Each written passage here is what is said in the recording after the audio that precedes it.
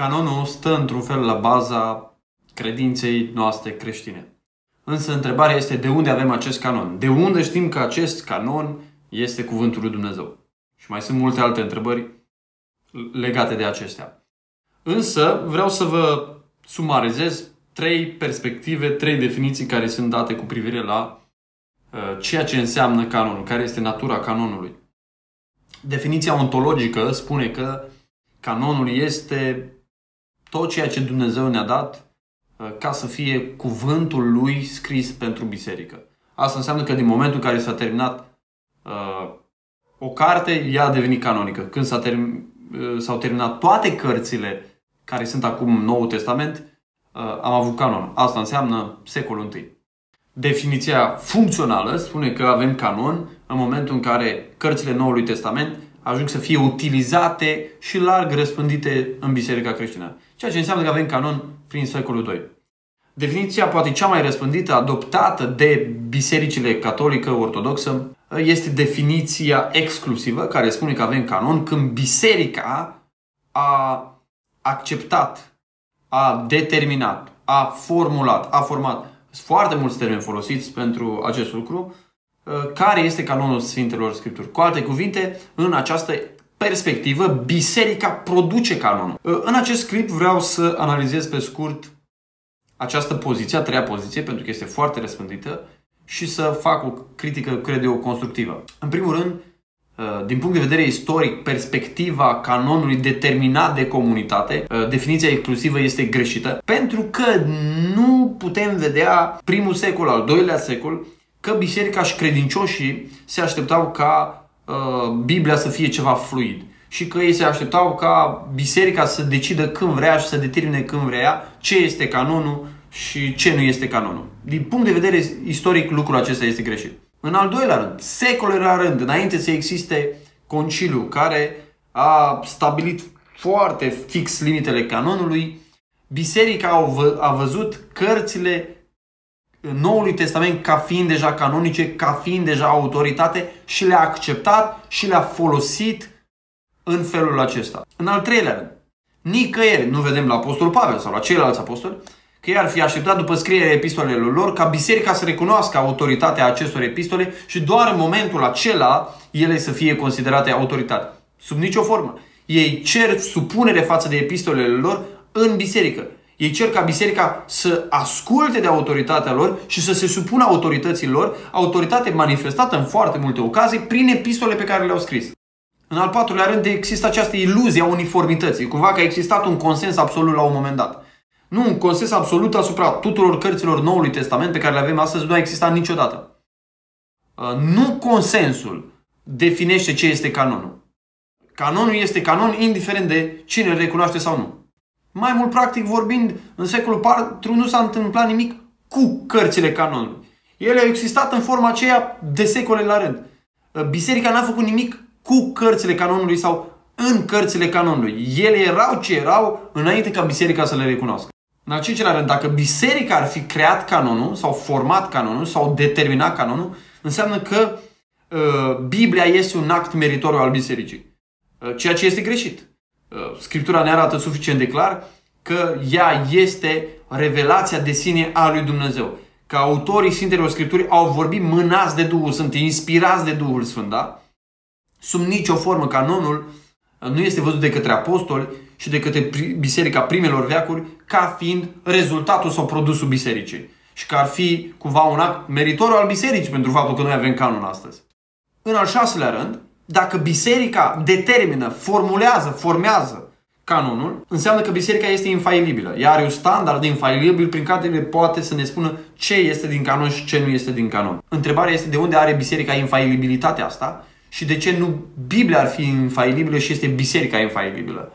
În concepția aceasta, autoritatea inerentă a cărților Sfintelor Scripturi este foarte puternic diminuată până aproape de excludere. Pentru că biserica ne spune cum trebuie să înțelegem Sfânta Scriptură. Ce este Sfânta Scriptură? Ea are autoritate asupra Sfintei Scripturi, nu Sfânta Scriptură are autoritate asupra ei. Apoi, care este baza canonului? Dacă biserica este baza canonului, înseamnă că ceea ce spune Sfânta Scriptură despre ea însăși Nu este adevărat. Și anume că ea este temelia bisericii. Nu biserica stă la baza canonului, ci învățătura apostolică stă la baza canonului. Învățătura apostolilor și a profeților uh, a constituit fundația bisericii. Vedeți? Biblia, Scriptura proclamată formează biserica. Nu biserica a determinat ce este Sfânta Scriptură. Uitați-vă la Israel. Israel a primit canonul Vechiului Testament progresiv și niciodată Dumnezeu nu s-a așteptat ca uh, canonul Vechiului Testament să devină autoritate doar dacă este acceptat de poporul Israel. Nici vorbă de așa ceva. Și nu văd niciun motiv în Sfânta Scriptură pentru care lucrul acesta să se fie schimbat. Canonul Vechiului Testament a fost canon, fiecare carte profetică a Vechiului Testament a fost carte inspirată de la Dumnezeu, indiferent dacă poporul Israel o recunoștea sau nu. Și de foarte multe ori poporul Israel nu recunoștea. Dar faptul că el n-a recunoscut uh, nu schimba cu nimic autoritatea acestor cărți și faptul că ele veneau de la Dumnezeu. Credincioșii au văzut de la bun început epistolele Noului Testament ca fiind scripturi, ca fiind cărți inspirate de la Dumnezeu. Ei n-au așteptat uh, nici credincioșii, nici apostolii ca biserica să le recunoască ca scripturi și doar atunci ele să devină valide sau să poată fi folosite ca scripturi. Dacă ar fi să luăm declarațiile oficiale, putem spune că prima declarație a fost la conciliul de la Trent abia în 1546. Putem spune noi că biserica n-a avut un canon până atunci? Uh, trebuie să cercetăm bine lucrurile și să vedem exact uh, ce s-a decis uh, la conciliul care a recunoscut canonul și ce s-a decis la conciliul de la Trent. Abia atunci avem cu adevărat o declarație publică, oficială, uh, stabilă și așa mai departe.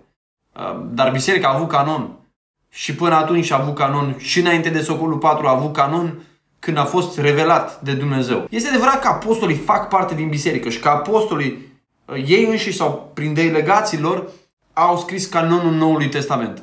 Dar apostolii nu sunt biserica.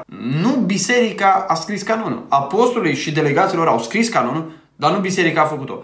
Ei au fost parte din biserică, dar ei nu sunt ei înșiși biserica. Confuzia aceasta a dus la, în mare parte, la această definiție greșită. În această teorie, în această definiție, se face confuzie gravă între primirea canonului de către biserică prin apostoli și recunoașterea canonului. Sunt două faze diferite. Biserica primește canonul, recepționează canonul și recunoaște canonul. Actul de recunoaștere a canonului sau de recepționare a canonului, aceste două acte legate unul de celălalt, uh, nu sunt formarea și determinarea canonului, nu sunt în sine formularea canonului. Apostolii au scris canonul, au primit canonul de la Dumnezeu, ei și delegații lor, și biserica a recepționat și recunoscut acest canon. Dar sunt fa- niște faze distincte. Ce au făcut apostolii, ce a făcut biserica. Da? Apostolii au comunicat canonul, da? au revelat canonul uh, prin inspirație divine de la Dumnezeu, iar biserica l-a recepționat, l-a primit de la ei și l-a recunoscut, l-a uh, transmis mai departe. Dar sunt niște faze distincte și trebuie să nuanțăm foarte bine aceste etape pentru a nu ajunge la o definiție greșită despre ce este Sfânta Scriptură. Este tragic faptul că Biserica Catolică, Biserica Ortodoxă ne cere să acceptăm pretenția lor de infailibilitate în recunoașterea sau mai degrabă în determinarea canonului și nu avem dreptul să recunoaștem afirmațiile Sfintei Scripturi despre ea însăși că este cuvântul lui Dumnezeu, indiferent ce spune biserica la un moment dat sau altul despre ea. Deci pretențiile bisericii trebuie acceptate, dar uh, autoritatea Sfintei Scripturi nu poate fi acceptată până când biserica nu spune ceva despre ea. Trebuie să înțelegeți că în această definiție, în această poziție, uh, autoritatea Scripturii este secundară. Autoritatea Scripturii nu este ultima. Dacă biserica recunoaște, determină, formează canonul și doar ea poate să fie un ghid, un interpret în ceea ce spune canonul, niciodată canonul Sfintei Scripturi nu poate transforma biserica. De ce? Pentru că biserica poate oricând să spună absolut orice despre ce înseamnă canonul Sfintei Scripturi. Da? Poate să facă lucrul acesta. Și de-a cursul timpului s-a întâmplat uh, lucrul acesta și se întâmplă în continuare. Uh, autoritatea Sfintei Scripturi este autoritate ultimă principală. Interpretarea Scripturii se face cu adevărat în comunitate, dar nu comunitatea decide ce înseamnă Sfânta Scriptură, ce este Sfânta Scriptură, cât trebuie să avem din Sfânta Scriptură. Și însuși Dumnezeu a decis lucrul acesta.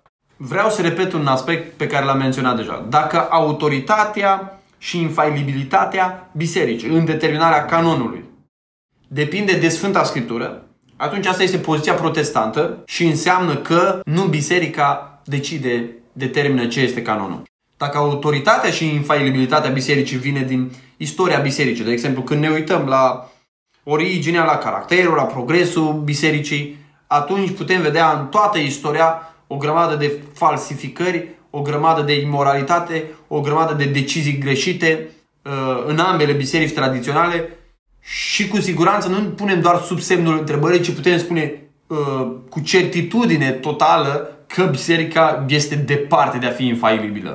De aceea avem nevoie de un cuvânt al lui Dumnezeu infailibil, care să cerceteze, să provoace uh, biserica, care să pună biserica uh, sub semnul întrebării, care să pună biserica uh, la radiografie spirituală, la verificare. Numai cuvântul lui Dumnezeu poate să facă lucrul acesta. Cred că sunt suficiente motive pentru care nu putem să acceptăm pretenția Bisericii Catolice sau pretențiile Bisericii Ortodoxe cu privire la formarea canonului. Cred că canonul este hotărât, determinat de Dumnezeu, a fost revelat prin apostoli și delegaților și că biserica are doar rolul să recunoască canonul, să primească canonul, să-l păstreze, să-l țină mai departe și să-l proclame. Nu ea formează canonul, nu ea determină canonul, nu ea a început și a încheiat canonul. Ea l-a recunoscut.